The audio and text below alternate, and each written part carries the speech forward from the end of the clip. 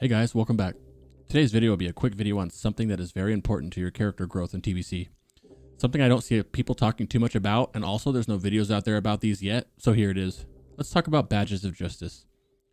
Whether you already know what badges are or you need a refresher, we're going to go over everything. Why they're important, how to get them, and of course where to spend these Badges of Justice, which from here on out I will refer to as badges.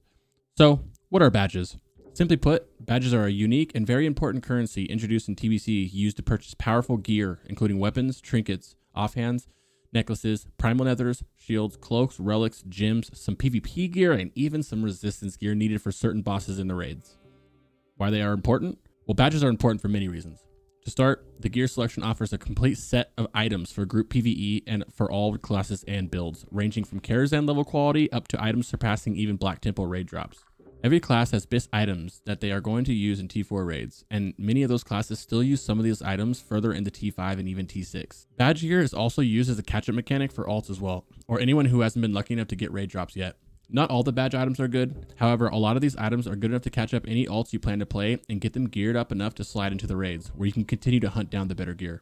As you can imagine, some bosses need resistances to be able to survive certain abilities, or in this example, to tank them. In the first raid of Tier 5, Serpentshrine Cavern, otherwise known as SSC, you'll need a Warlock to tank one of the phases of the bosses named Leotheras. That Warlock needs a mass amount of fire resistance. Your tanks also will need fire res gear to tank Illidan and Black Temple as well, which they can only achieve by purchasing all the gear that has fire resistance that the badge vendor offers. At a later patch, more badge items get released and new vendors become available. I'll get to that in a little bit. As you can imagine, these vendors offer even more powerful gear, weapons, gems, and even design patterns, much of this gear becomes BIS until you can get raid drops. And once again, as you can imagine, is another catcher mechanic for many alts. How to get them? Just like the other special currencies in Burning Crusade, badges are not just handed out by everybody and can be more of a nuisance to get than others, especially if you're one of those classes that needs a handful of badge pieces or like an alt. Badges can only drop in a few ways, and each way depends on the patch. I'll list each way and the patch they release in. However, it's safe to assume that Blizzard will not launch TBC with all of these vendors available. One of which, which is also the most popular way and what will be available at launch regardless of the patch Blizzard decides on, and is the most popular way to obtain badges, is through heroics. Each boss of every heroic in the game will drop one badge for everyone in the party. This is the main reason everybody was spamming heroics, outside the gear upgrades, of course. Another way to get them, which launches in patch 2.3, also known as the Zul'Aman patch, badges adjust to start to drop from Karazhan as well, and of course, ZA. Some bosses in raids only drop one, depending on their difficulty, but most drop two and even up to three if it's the last boss.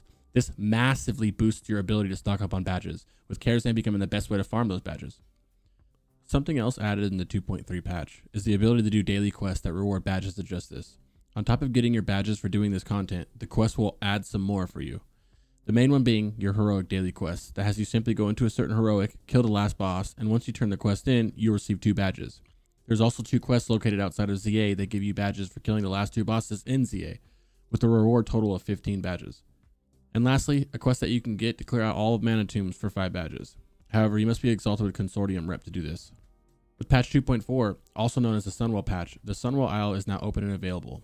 With it came many additions to the game, but all we care about is for this video is that it allows you to obtain badges of justice from every boss in the raid that you previously could not obtain them from. That's right, every raid boss and heroic boss drops badges, and at a good time too, because this new set of badge gear is much, much, much more expensive than the previous vendor. With the same 2.4 patch, you may be able to get a badge somewhat unreliably by completing the Shattered Sun offensive quests, also known as the Sunwell Isle quests. These quests reward you with the Shattered Sun supplies bag that has a very low chance to contain a badge, but could be worth if you're in a desperate need for badges. So as you guys can see, there's many ways to get badges in the game, but don't worry because they're not all going to be released at launch because that would be super lame if Blizzard did that. But at the same time, we don't know what Blizzard's doing. So, but uh, it that's the safest bet I would say is that all those are not going to be available. You're just going to start the game at launch, which farming her up some heroics, and then move on to the further patches, my guys.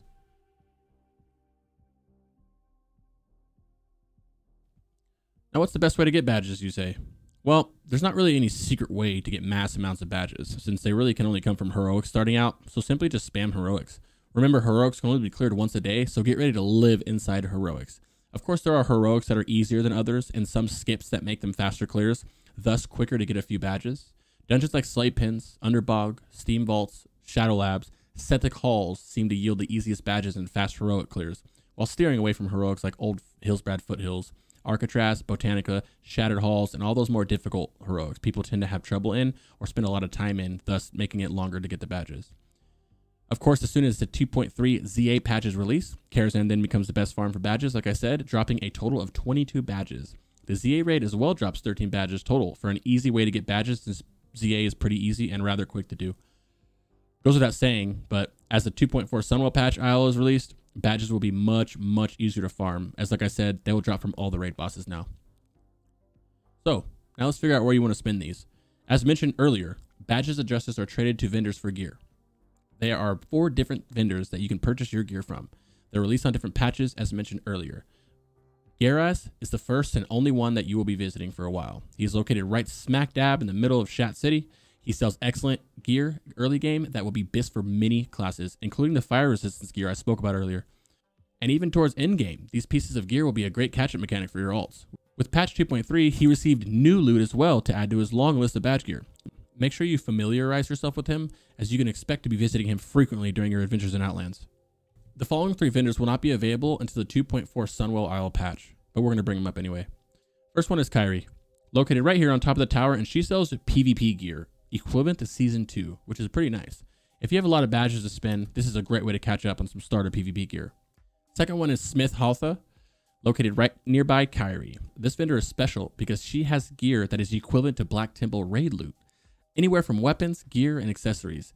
Take note that these pieces are the most expensive pieces of badge gear in the game, ranging anywhere from 50 to 150 badges for one piece of loot. But very worth if you are in desperate need of an upgrade and not having luck in the actual raid with loot.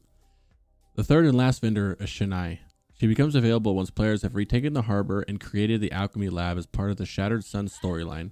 She offers six types of uncut epic gems that only people who were doing T6 content even had access to up until now, and for rather cheap prices, only 15 badges. Note that these uncut gems are the best gems in the game that everyone, literally everybody uses and typically are pretty expensive on the auction house as well. Side note, there are these two vendors right here located next to the portal chat that takes you to the Isle, right? These vendors, as you can see, carry the same badge gear as the Smith and the uncut gem vendor. Now, I know that these were here originally in TBC, however, I'm not sure if they came at 2.4 or a little bit later after you cleared the quests. Well, guys, that's it for this video. Just a real quick short one because there's not much to talk about. It's just the badges. I just wanted to get you guys a grasp of how the badges of justice work. Hopefully I didn't take too much of your time, and now you have a good grasp of how the badges of justice work. As always, if I missed anything, please let me know in the comments and I'll pin the message. Catch me over on Twitch at twitch.tv slash crixgaming underscore if you're looking for some solid TBC content. Until next time, peace guys.